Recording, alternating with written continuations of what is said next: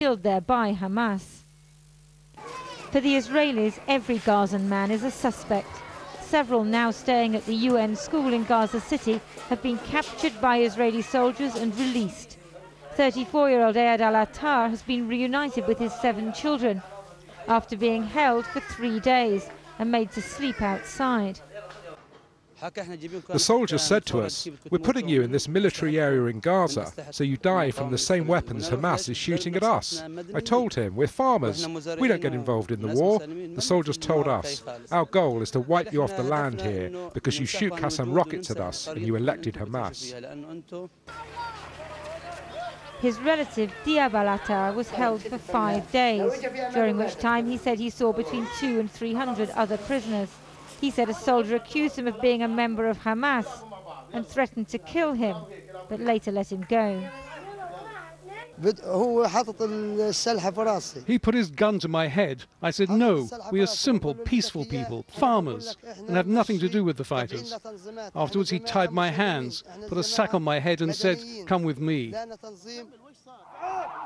If there is no ceasefire, this will get even worse. International humanitarian agencies are crying out about the suffering of civilians. But neither Hamas nor the Israelis seem quite ready yet to do a deal. For the people of Gaza, there is no escape. Lindsay Hilsum, Channel 4 News, on the Gaza-Israel border. Well, joining us now is the uh, Israeli historian at Oxford University, Professor Avi Shlaim, uh, who indeed even himself once served in the Israeli army. Uh, Avi Shlaim, as a historian, where do you place what Israel is doing in Gaza? Um, I've uh, written a book called The Iron Wall, Israel and the Arab World, which is an account of Israel's policy in the conflict since 1948. It's a long book, but I can summarize it for you in one sentence. Too little diplomacy and too much military force. And the current uh, offensive in Gaza is the climax of this Israeli tendency to shun diplomacy and compromise and to rely overwhelmingly on brute military force. What dynamics can change it? And indeed, do you look across the Atlantic for a key driver to any change? The key to Israel's intransigence in the conflict is uncritical American support. Today, Israel is getting literally with murder in Gaza because there is no restraint from America. There's never been less American restraint on Israel in the history of this tragic conflict.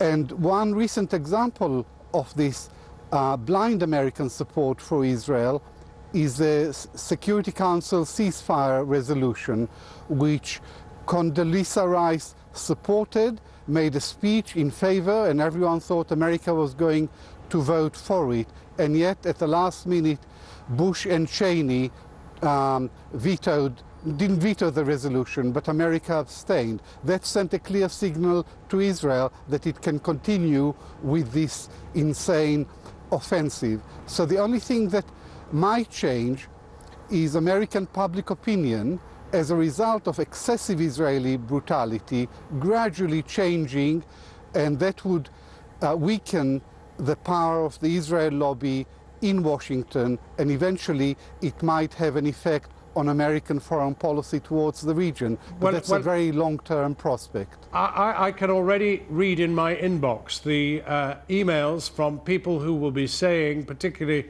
who um, perhaps have a, a, deep sympathy for Israel, uh, that the people who live beneath the Hamas rocket attacks will have a very different view.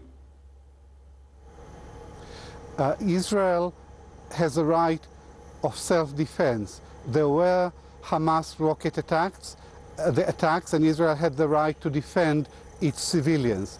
But here is the crucial point. This is an unnecessary and illegal war because in June of July of last year, Egypt brokered a ceasefire. The ceasefire succeeded. The ceasefire was a stunning success contrary to Israeli propaganda. Before the ceasefire came into effect, 170 rock, Qassam rockets a month were fired from Gaza on Israel. After the ceasefire came into effect, for the next four months, the number dropped to three a month. And it was not, again, contrary to Israeli propaganda, it was not Hamas that broke the ceasefire, it was Israel which broke the ceasefire by launching a raid into Gaza and killing six Hamas men. Professor Avi Shlaim, thank you very much indeed for joining us.